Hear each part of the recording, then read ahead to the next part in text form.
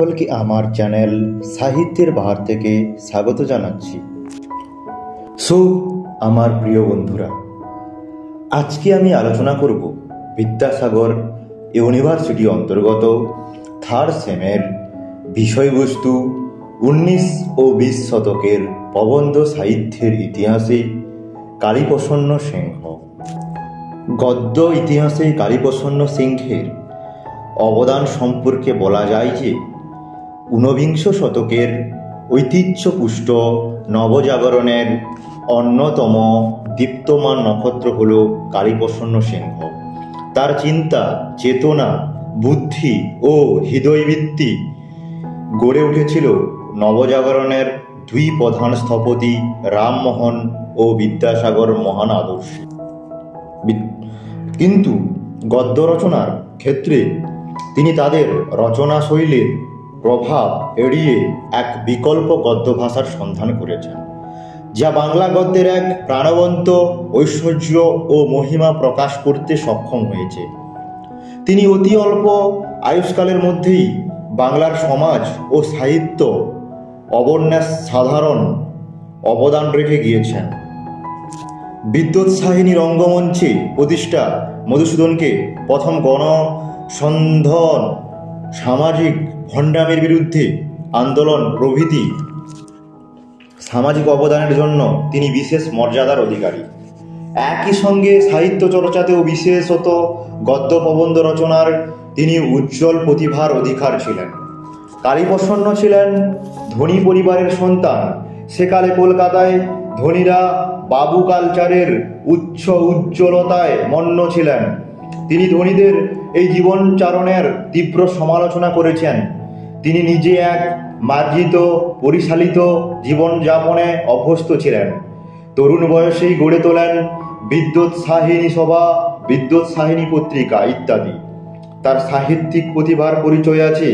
তার লেখা একাধিক মূল্যবান গ্রন্থের মধ্যে এগুলি হল বাবু নাটক আঠারোশো আঠান্ন, বিক্রমাবসী নাটক আঠারোশো সাত সাবিত্রী সত্যবান নাটক আঠারোশো আঠান্ন, মালতী মাধব নাটক আঠারোশো উনষাট, বঙ্গবাসীদের প্রতিনিবেদন আঠারোশো একষট্টি, হুতুম পেচার ছদ্মনাম নকশা আঠারোশো একষট্টি থেকে বাষট্টি, পুরাণ সংগ্রহ আঠারোশো ষাট থেকে ছেষট্টি, বঙ্গেশ বিজয় অসমাপ্ত আঠারোশো আটষট্টি, শ্রী ভগবদ্গীতা অনুরূপ আট উনিশশো দুই, মৃত্যুর পর প্রকাশিত। কালীপ্রসন্ন যে গ্রন্থের জন্য বাংলা সাহিত্যে স্মরণীয় হয়ে ওঠে, তার নাম হল হুতুম পেচার নকশা। এই গ্রন্থ রচনা করে তিনি স্বতন্ত্র সাহিত্যধারার পথিকৃত হিসেবে চিহ্নিত হয়ে আছেন। গ্রন্থটি দুইটি খণ্ডে প্রকাশিত হয়। প্রথম খণ্ড আঠারোশো আটষট্টিতে এবং দ্বিতীয় খণ্ড একত্রে আঠারোশো আটষট্টি খ্রিস্টাব্দে প্রকাশিত হয়। এই গ্রন্থে লেখকের হুতুম পেঁচা ছদ্মনাম ব্যবহার করেন। গ্রন্থটি সেকালের এক অদ্বিতীয় সমাজ চিত্রশালা। এখানে বর্ণিত হয়েছে কলকাতার কালচার। এগুলি কয়েকটি শিরোনামে গ্রন্থের মধ্যে উল্লিখিত হয়েছে। যেমন, চড়ক পার্বণের রঙ্গ বারোয়ারির নেপথ্যে সামাজিক ব্যবিচার, ছেলে ধরা, মিউটিনি, বিচিত্র হুজুকের ব্যঙ্গ, হঠাৎ অবতার বাবু, প্রভৃতি। তার এই সকল বর্ণনার মধ্যে কোনো অতিরঞ্জন বা কাল্পনিকতা নেই। সবটাই একটি সমাজের কাছে অপ্রিয়, কিন্তু কঠিন সত্য। তিনি নিজেই বলেছেন, এই নকশায় একটি কথা অলিক বা অমূলক ব্যবহার হয় না। তার লেখা গ্রন্থগুলিতে বাংলা ভাষায় যেরূপ ব্যবহৃত হয়েছে, তার নাম দেওয়া হলো কলকাতায় কাকনি ব্যবহৃত হয়েছে, এই কথাটি এসেছে ইংরেজিত কোকি থেকে। এটি লন্ডন শহরে প্রচলিত ইংরেজিরা চলতি বলি। সেই অর্থেই সেকালে কলকাতায় প্রচলিত বাংলার চলতি বুল্লির নাম দেওয়া হয় কলকাতায় কখনই। হুতুম পেঁচার নকশা গ্রন্থে বাংলার এই ভাষা ছাঁদে হাস্যরসের আধারে কলকাতায় তথাকথিত বাবুদের জীবনচরণে তীব্র ব্যঙ্গ করেছেন। এই ব্যঙ্গ বিদ্রুপের ঝাঁঝ এত প্রবল ছিল, কিছু ক্ষেত্রে তা সমালোচনার কারণ হয়ে উঠেছিল। স্বয়ং বঙ্কিমচন্দ্র সমালোচনা করে এর ভাষাকে পরিদ্রতা শূন্য দারিদ্র নিস্তেজ ভাষা বলে মন্তব্য করেছেন। তবে এই ভাষায় সমাজের মনের কথায় যে স্পষ্ট আকারে প্রকাশ পেয়েছে তা অনস্বীকার্য। হুতুম পেঁচার নকশা গ্রন্থের ভাষা ও গদ্যশৈলীর সুনির্দিষ্ট কিছু পরিচয় উল্লেখ করা যায়।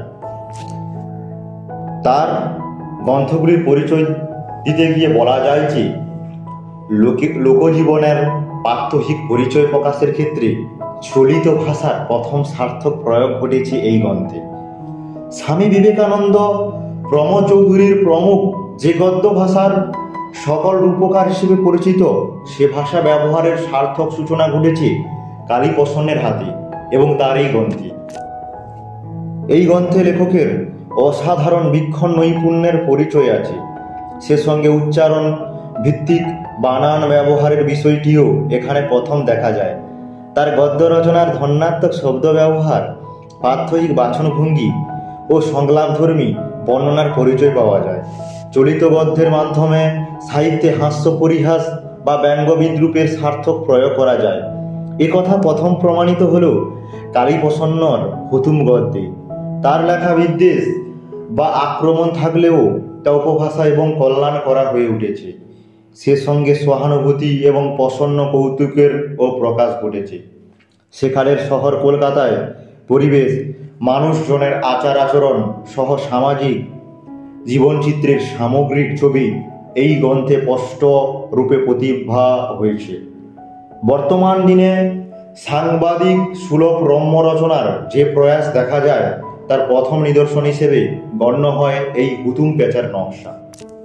গদ্যশিল্পী প্যারিচাঁদ মিত্র এবং কালীপ্রসন্ন সিংহের গদ্যশৈলী তথ্য, গদ্য ভাষার কিছু মিল এবং অমিল বিশেষ উল্লেখযোগ্য।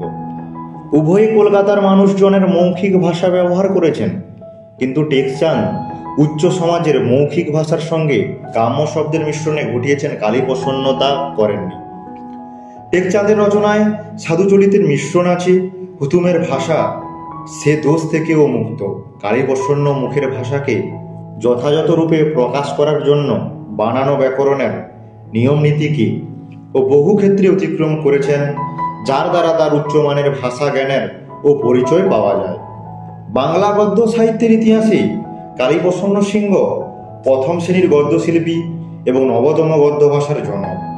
তার গদ্যে সেকালের সমাজ সমালোচনার কিছু বাড়াবাড়ি হয়েছে বলে অনেকে মনে করেন।